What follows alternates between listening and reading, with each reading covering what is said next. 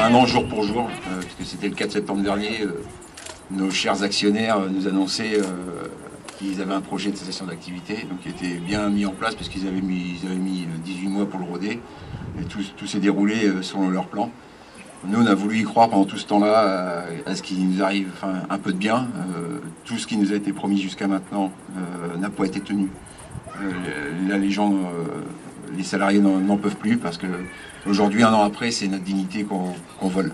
Moi, je, ne comprends pas euh, au niveau euh, on fait venir des Coréens alors que euh, ce qui avait été prévu euh, lors du PSE, c'était que- qu'il y ait indépendamment, puisque l'usine, soi-disant, soit-disant, je suis un peu ému, excusez-moi, était vétuste, donc devait aller à, la ferraille. Ce qu'on s'aperçoit, c'est que un an après, donc des Coréens viennent. J'ai rien moi non plus contre les Coréens, hein.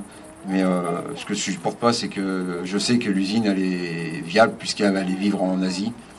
J'irai même un peu plus loin. Je soupçonne et on soupçonne très largement que nos anciens actionnaires sont derrière, ce qui prouve bien que la machine était bien huilée et que bon, on était, on savait que quand Green arrivait, on, avait des doutes, mais à, l'époque.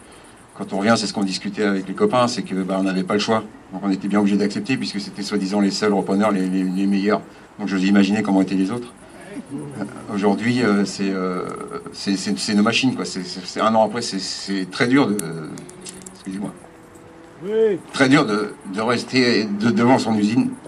On, a, on a passé euh, des week-ends, les copains ont passé Noël, on a tout sacrifié pour- pour cette usine. C'est nos machines. Et les machines, je vous garantis qu'elles ne partiront pas sans, sans qu'on ait, nous aussi, des, des- des accords signés. Parce que moi, les, les- les promesses, j'en peux plus.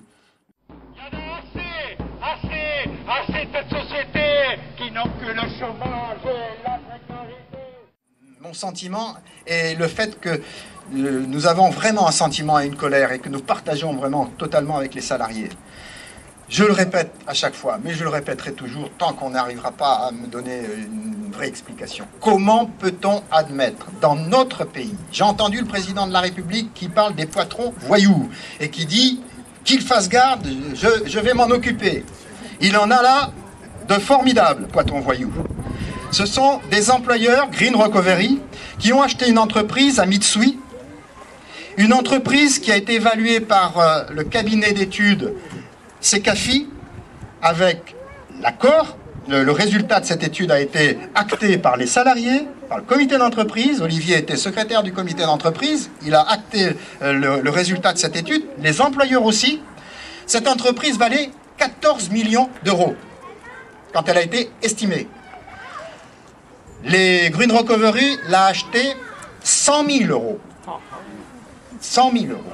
La première chose qu'ils ont fait, une des premières décisions qu'ils ont fait quand ils sont devenus propriétaires de cette entreprise, parce que le compte était positif, ils ont ponctionné 2,7 millions qu'ils ont mis dans leur poche.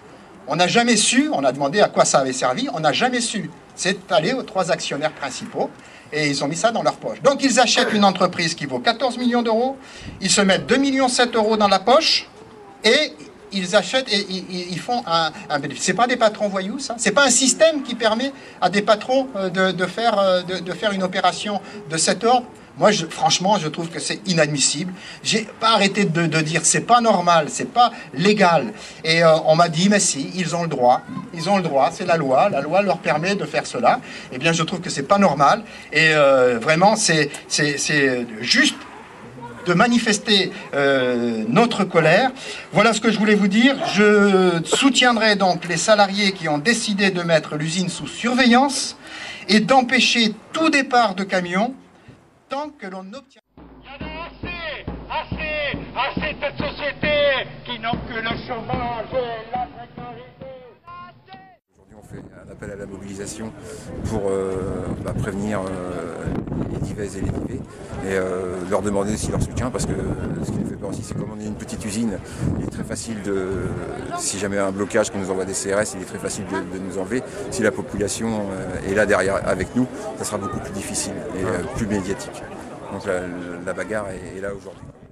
Depuis de- de- les, les AG, on, les- on les tient depuis le mois de septembre dernier, l'annonce la, de on se, on se voit tous les vendredis, ce qui gêne beaucoup de monde, puisqu'ils misaient euh, comme tout le plan de ciment, c'est-à-dire qu'on écarte la cellule de reclassement de l'usine, après on, faut commencer à faire des petits groupes, et après on voit les gens en individuel. Ce qui les gêne fortement, c'est qu'on se voit toutes les semaines, toutes les semaines on fait un point état, toutes les semaines euh, chacun expose sa, situation et on, voit pour, pour s'aider entre nous.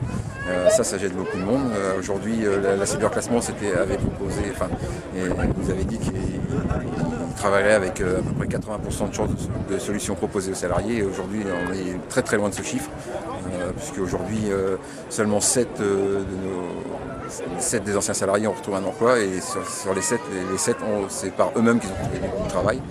Donc derrière, après, on a quelques, quelques copains qui sont en CDD ou en intérim, mais pour, nous, c'est pas, c'est pas une solution, puisque là, on a la preuve encore, c'est qu'un un copain qui avait trouvé un CDD de, 6 mois en janvier dernier vient, euh, de, perdre son emploi, puisque son CDD n'a pas été reconduit. Donc, ce qui prouve bien que ce n'est pas une solution. Les gens en formation, c'est pareil, ils vont aller à l'école, d'accord, ils vont obtenir un diplôme, d'accord, mais à la fin, ça sera toujours pour être au chômage. Donc ce n'est pas une solution. Un peu partout, ça suffit de, de regarder la télé ou de, lire la presse pour s'apercevoir que ça, ça casse de partout et où on profite de, de cette crise justement pour des fois fermer des usines euh, où c'est pas justifié.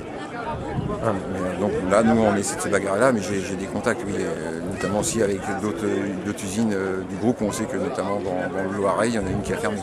Hein.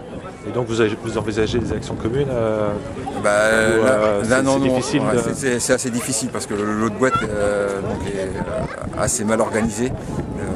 C'était plus- enfin c'est pas parce que c'est des femmes, mais c'était euh, du coup essentiellement avec des femmes. Et, euh, donc euh, avec les- la, représentante syndicale du CGT de, de là-bas, elle m'a dit que c'était difficile. Elle avait beaucoup de mal à, déjà à, à motiver euh, ses troupes là-bas. Donc elle n'envisageait pas elle de son côté de, de faire une action commune, ce qui est bien dommage parce que nous ça nous aurait plu quand même de regrouper les deux boîtes et monter à Paris voir nos actionnaires. quoi. Mais bon, ce- mais bon, il y a- selon la tournure des événements là, de toute façon, il est clair qu'on on ne restera pas non plus éternellement devant la usine. À un moment donné, on passera l'action d'une façon ou d'une autre. Euh, on, en- on envisage tout. hein. Il se peut aussi que nous, on aille à Paris. Et, euh, on- ça, on verra bien. On verra selon la, si les, négociations aboutissent ou pas. Parce qu'il est sûr que nous, c'est notre dernière carte. Et on va jouer jusqu'au bout. On leur a dit hein, l'année dernière, et on n'est pas des menteurs, qu'on se battra jusqu'au bout. Et on se battra jusqu'au bout. Donc là, pour les licen- les licenciements, on n'a plus rien faire. Le matériel, moi, je peux vous garantir que le matériel ne partira pas sans condition. Tous ensemble. Tous ensemble.